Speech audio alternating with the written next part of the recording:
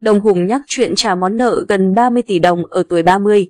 Nam ca sĩ nhớ lại những ngày tuyệt vọng trong cùng cực khi phải trả món nợ hàng chục tỷ đồng thay mẹ. Đông Hùng chia sẻ đó là cách anh gửi thông điệp về nỗ lực vượt biến cố của đời mình.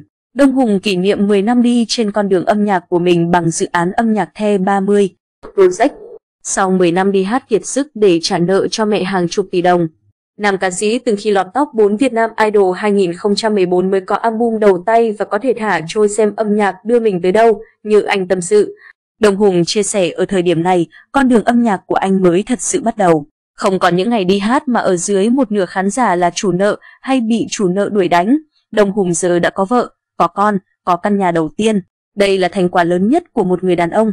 Tất cả những điều đó đã tạo nên một Đông Hùng ở tuổi 30 rất khác, nam ca sĩ tâm sự. Thẻ 30, Project gồm 8 bài hát cả cũ và mới của Đức Trí, Trương Quý Hải, Việt Anh, Phan Mạnh Quỳnh, Phạm Văn Thắng, Ngô Hoàng Huy, Nguyễn Dương Anh Minh. Trong MV Gánh Đời vừa ra mắt, vốn là ca khúc được nhạc sĩ Đức Trí viết tặng Đông Hùng để khích lệ anh lạc quan sống.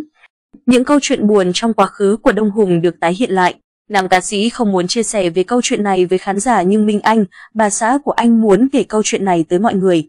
Anh không muốn nhắc đến chuyện cũ theo hướng buồn bã và là câu chuyện cần giấu đi. Nhưng biết đâu câu chuyện của anh Hùng có thể truyền cảm hứng cho người khác, những người đã, đang có câu chuyện như anh Hùng. Tôi là người dõi theo anh trên con đường anh vượt qua được những biến cố trong quá khứ. Khi muốn đưa câu chuyện của anh vào đó, tôi đã phải xin phép anh để chia sẻ những hình ảnh đẹp về hành trình anh vượt qua để có được ngày hôm nay, mình Anh. Bà xã của Đông Hùng và cũng là giám đốc nghệ thuật của dự án, nói, nhạc sĩ Nguyễn Hữu Vượng, giám đốc âm nhạc của dự án The 30. Project chia sẻ anh tin tương lai Đông Hùng sẽ còn tiến rất xa. Giọng hát của Đông Hùng thay đổi nhờ rèn luyện hàng ngày.